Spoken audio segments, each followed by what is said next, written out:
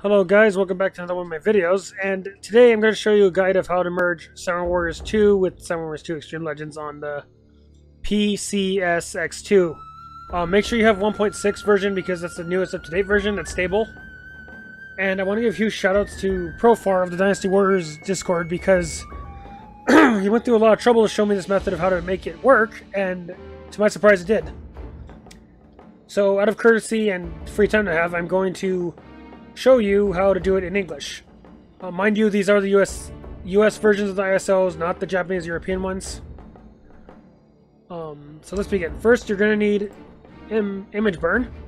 You're going to need WinRAR. The links to these programs will be at the bottom. The link to the Extreme Legends ISO you need will be at the bottom as well. Um, so make sure WinRAR is tagged to your ISO once it's extracted. Like, see how mine is. It says WinRAR, but it reads as an ISO. Uh, make a folder called Complete Edition, because what you're going to do is put all the files in here. The part people tend to mess up on even the first game is they extract the original version first. That's not what you gotta do. You gotta do the Extreme Legends one first. Grab everything. Um, ignore that. You're gonna grab everything out of here. Place it in here first, give it a minute. It usually takes about 30 seconds to a minute, depending on your system's power level or whatever.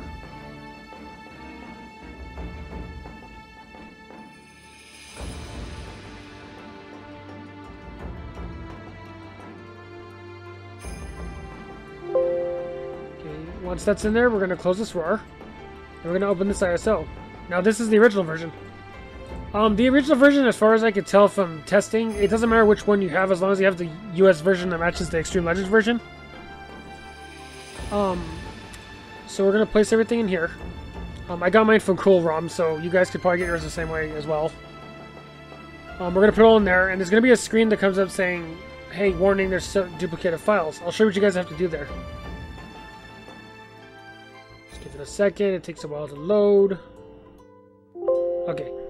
Now you'll see this. Do not hit this one. Do not hit this one. You want to hit this one at the bottom. Let me decide for each file. You're going to click this, and you're going to click that. What this does, is it tells the ISO, hey, keep both of them in it. There we go. So now we have the original content in Extreme Legends. And once this is done, make sure you close WinRAR. Make sure you get image burn going. Now when you have image burn going, you're gonna say right, um, create image from files and folders. What you want to do? You're gonna click this little folder icon, and you're gonna click this one. You're gonna hit select, and once we select it, you see little, this little icon I clicked in case you guys missed it. This one. Then you're gonna click this icon, and you're gonna save it to wherever. I'm gonna save it in documents. You're gonna hit yes to this because what it's gonna try to do is get rid of duplicated file names to save you space, which you don't want that hit yes, saying that you know you want to keep both versions of this as well. There you go. Give it a moment to load. You're going to hear a chime on this program saying that it's done. Uh, this game seemed a lot quicker than one did, but here we are.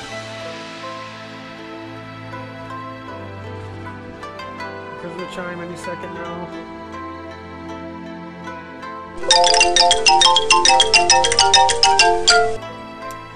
Once that's done, we close image burn, and we go look in our documents where I put it. Our documents. There it is. So, um, oh, you see how it is? It's out here. Now, we want to open our emulator. Um, yeah, you're going to hit the ISO select, you're going to hit Browse, and you're going to go to desktop, look up the Complete Edition. And we're going to hit Run Fast. Now, don't panic. People told me that, oh, they got a black screen. You gotta wait at least, like, 20 seconds to load. It takes a while to load longer because the original content is in here now. There we go.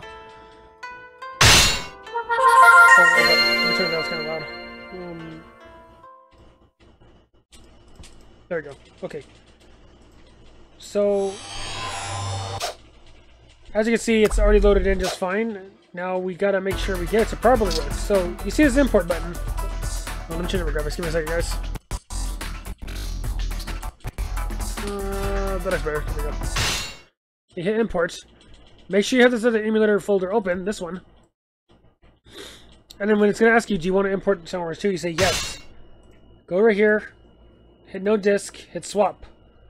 Go right here, hit ISO, hit swap.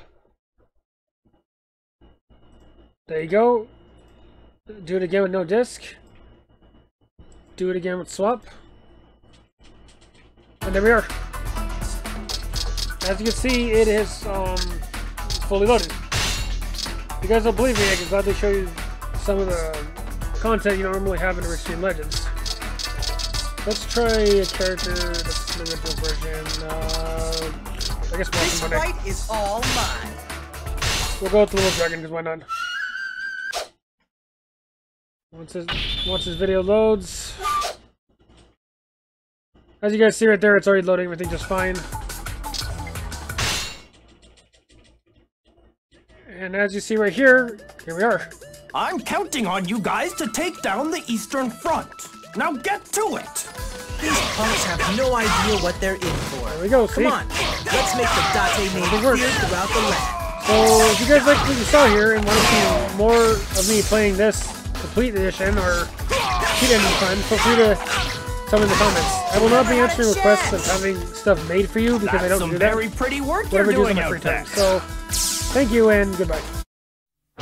I'm the greatest there is!